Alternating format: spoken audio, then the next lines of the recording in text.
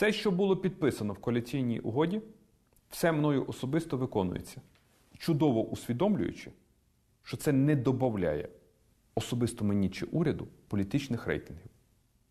Да, це не популярні заходи. Ну я так само 20 місяців тому сказав, що я усвідомлюю, на що я йду. Тут треба б так само було вибирати. Або власна політична популярність. Ну так вона недовго триває. У нас було багато популярних політиків, вже про них забули. Або реальні кроки для країни, для того, щоб країна стала популярною. І все-таки А уряди можуть мінятися. Ви знаєте, це демократія так само. Ну що ж, 11 числа я прийду в парламент. Я відзвітую за рік діяльності Кабінету міністрів України.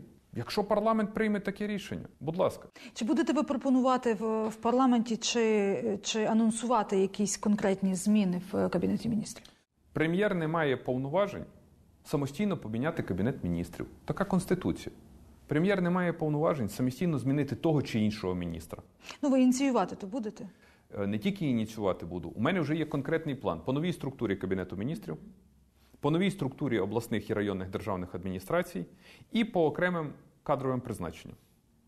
І з президентом України ми повинні прийняти спільне рішення. Тому що у нього найбільша це фракція. Ми почали цей процес обговорень. У нього найбільша фракція, тому це повинно бути спільне рішення. А якщо коаліція розвалиться? Нема права, щоб вона розвалилася. Це просто не варіант для країни. І всі це усвідомлюють, ви думаєте? Я не думаю, що всі усвідомлюють. Можливо, тому що... є бажання розвалити цю коаліцію Звичайно. також. Ну, звичайно. Тобто там є деякі українські політикани, які сподіваються на те, що на популістській риториці, на антиурядовій риториці можна заробити рейтинг, а потім будуть дострокові парламентські вибори, а потім вони повернуться кудись на білому коню. Я думаю, що потім уже не буде. Історія не часто дає шанси.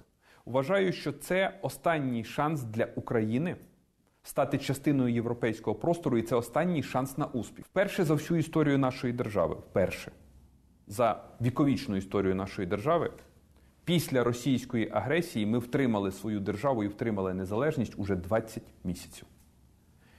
Я знаю, що складно. Я знаю, що в декого опускаються руки. Я знаю про те, що владу не люблять.